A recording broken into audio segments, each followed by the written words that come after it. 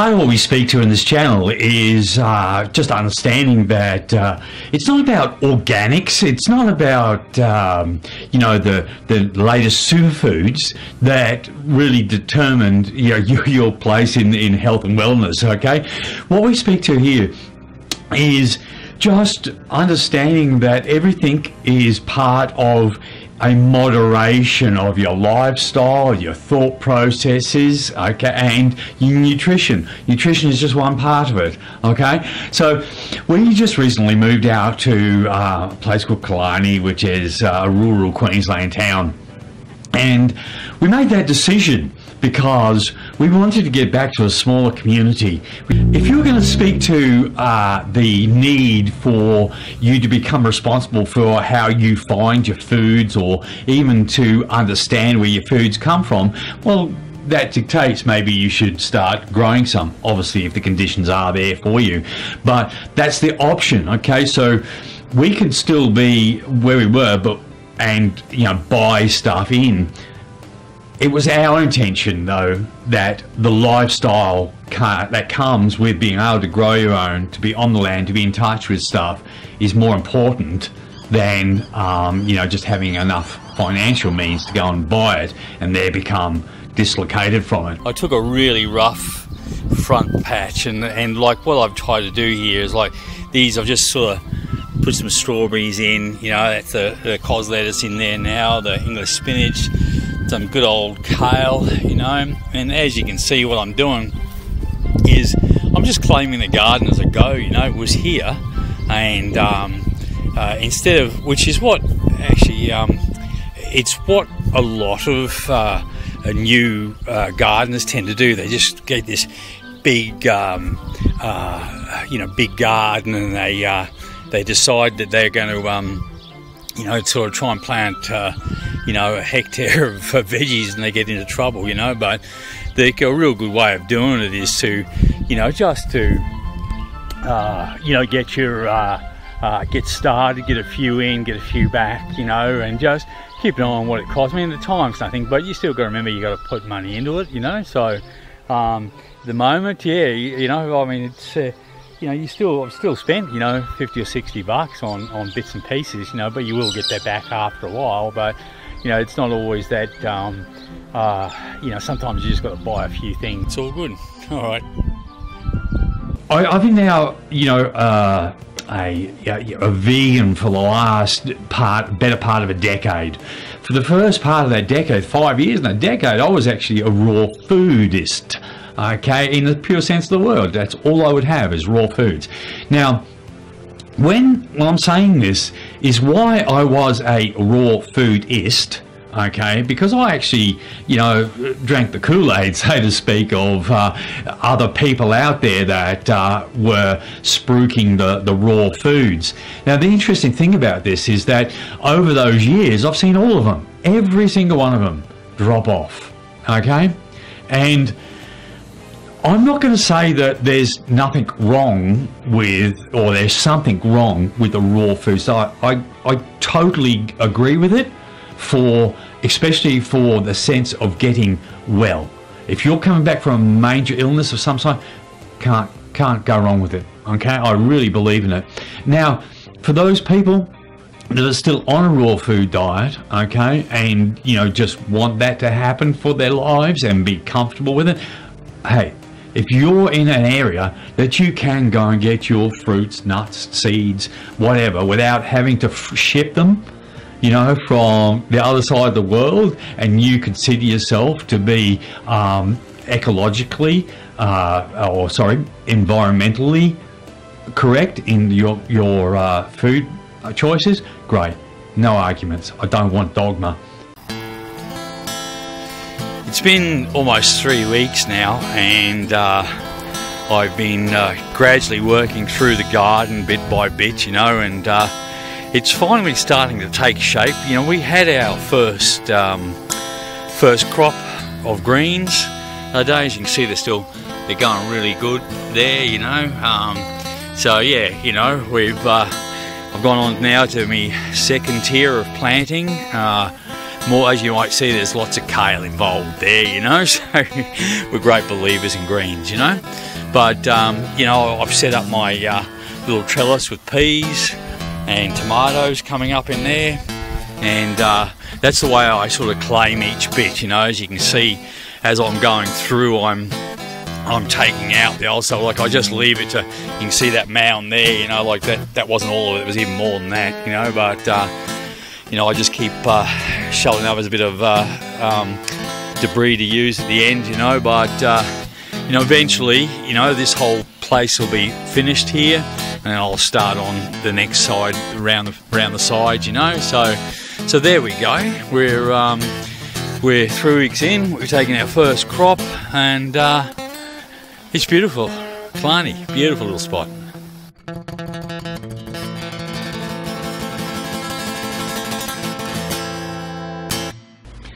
So anytime you're really trying to work out, you know, what's the best diet for you, don't look at it as a diet. Yeah, sure, if you've got to lose weight, if you've got to get healthy, then make a lifestyle change. This is what we speak to, okay? It's not fad diets, okay? What you need, right, is a lifestyle change. Everything comes from that point of view. If you're trying to diet something, it's not going to work. It'll slip away. Everything has to be in place, okay? Otherwise, you're just hopping on some express train that's just going to drop you off out in the middle of nowhere and it's a long way home.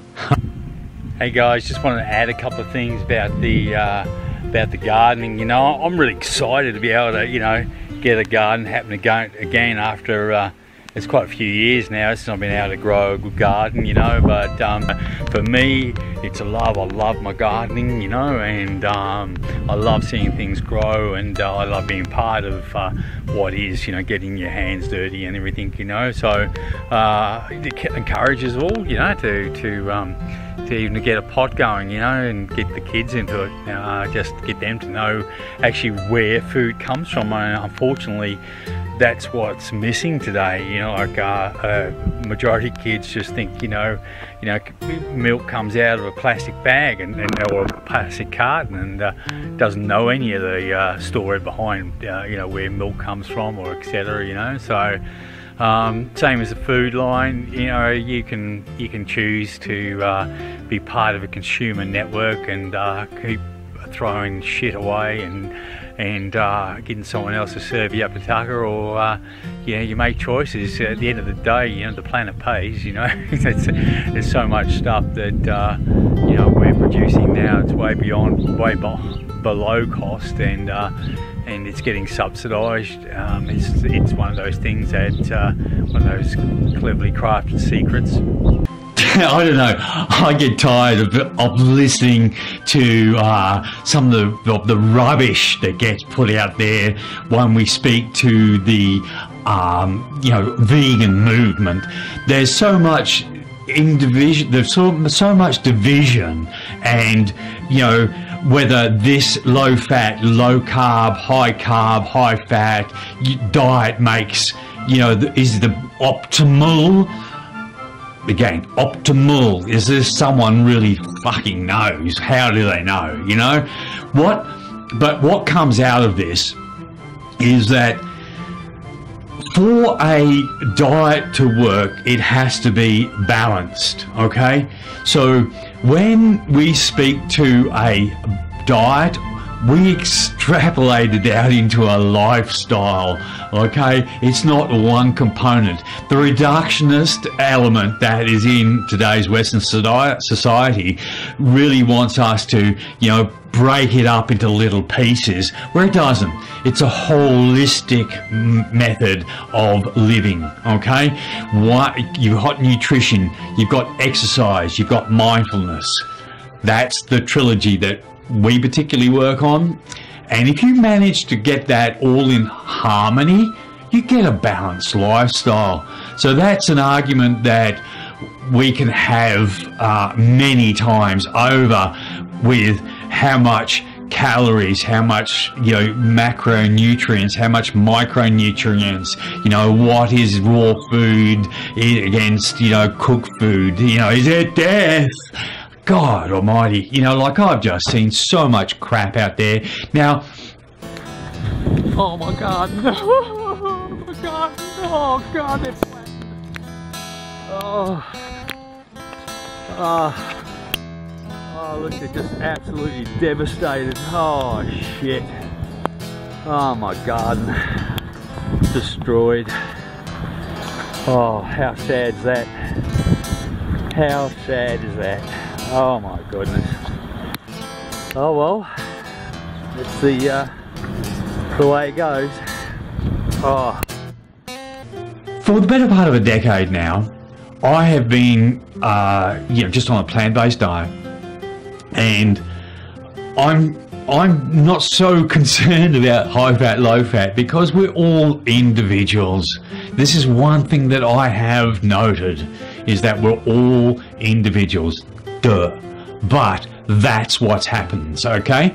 Within the uh, the the striving to find this better, this optimal diet, okay? What gets in the way is dogma, which becomes ego, etc., etc and with the ability for you to make choices based on something that really is quite intrinsic in us, that at the end of the day, you are responsible for your life. There's no point in just saying, oh, I can't do this because my job doesn't let me, my family doesn't let me. And we hear this all the time and it's a cop out. You either make the decision or don't make the decision. I hear plenty of people come to me and say, I couldn't do what you do. Why? Or what are you missing out? No, it really means they've got, they have to make a decision. You have to take responsibility. This is where it comes to the rubber meeting the road, as they say, is that it's your responsibility. You can't um, farm off your life to someone else.